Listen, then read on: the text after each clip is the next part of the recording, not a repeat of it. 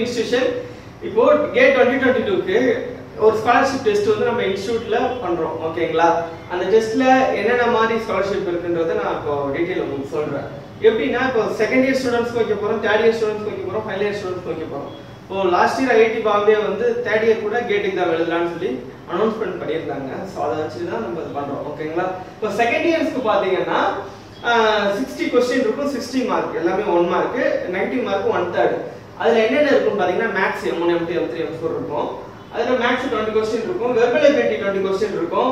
Numerical ability twenty question இருக்கும். Total sixty question ஓகேங்களா நம்ம அடுத்து வந்து third year and final year அவங்களுக்கு பார்த்தீங்கன்னா number of question sixty question இருக்கும். ஓகேங்களா இதில் ஒன் மார்க் வந்து பார்த்தீங்கன்னா தேர்ட்டி கொஸ்டின் இருக்கும். டூ மார்க் பார்த்தீங்கன்னா தேர்ட்டி கொஸ்டின் ஒன் மார்க்குக்கு one third negative mark two மார்க்குக்கு two third negative mark as per GATE GATE syllabus படி இருக்கும். ஓகேங்களா இது தேர்ட் இயர் அண்ட் ஃபைனல் இயருக்கு வந்து கேட் சிலபஸ் படி இருக்கும்.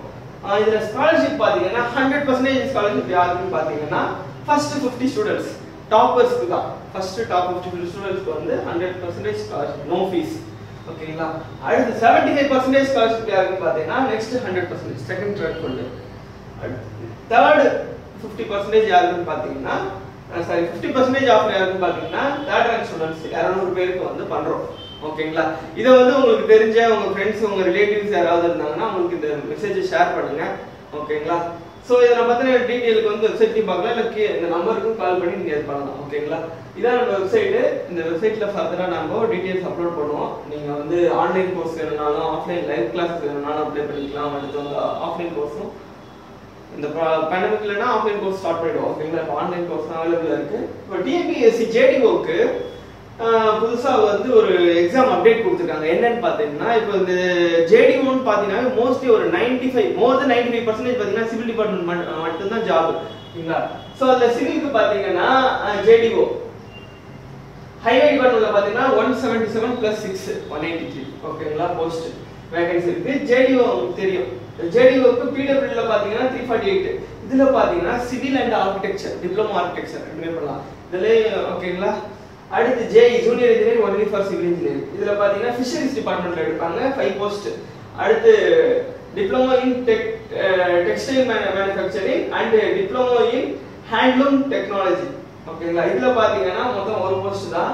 இதுல ஜேடிஏன்னு சொல்லுவோம் ஓகேங்களா ஜூனியர் டெக்னிக்கல் அசிஸ்டன்ட் இதில் பார்த்தீங்கன்னா ஒரு போஸ்ட் இருக்கு. ஸோ இதுக்கான எக்ஸாம் பார்த்தீங்கன்னா ஆறு ஆறு ரெண்டாயிரத்தி இருபத்தி ஒன்று இருந்துச்சு. பட் ஆனால் அந்த பேண்டமிக்னால கேன்சல் பண்ணிட்டாங்க.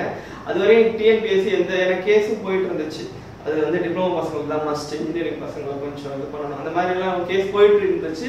இப்போ இன்னைக்கு வந்து ஒரு இது கொடுத்துருக்காங்க. என்ன டிஎன்பிஎஸ்சில இருந்து ஒரு சின்ன அப்டேட் பண்ணியிருக்காங்க டேட் என்னைக்கு வரும் அப்படின்னு பார்த்தீங்கன்னா பதினெட்டு செப்டம்பர் டுவெண்ட்டி டுவெண்ட்டி ஒன் ஓகேங்களா அன்னைக்கு தான் paper oh, one paper two அன்னைக்கு தான் இருக்கு. பேப்பர் ஒன்ல வந்து பாத்தீங்கன்னா த்ரீ த்ரீ ஹண்ட்ரட் மார்க்கும் த்ரீ ஹவர் டியூரேஷன் காலையில் பத்து மணிக்கு ஆரம்பிச்சு ஒரு மணி வரையும் நடக்கும்.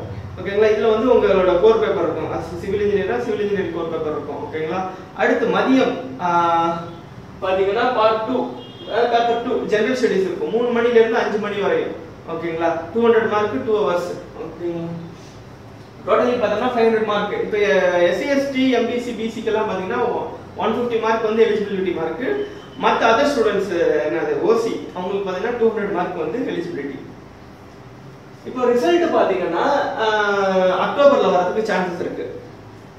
ஜேடிஓ ரிசல்ட் அக்டோபர்ல வர சான்சஸ் இருக்கு. அடுத்து வந்து சர்டிபிகேட் அப்லோட் பண்றது நவம்பர்ல மேபி பண்ணலாம். இல்ல அதே நவம்பர்ல சர்டிபிகேட் வெரிஃபிகேஷனும் நடக்கலாம். ஓகேங்களா அடுத்து டிசம்பர்ல கவுன்சிலிங் கூப்பிடலாம் ஓகேங்களா?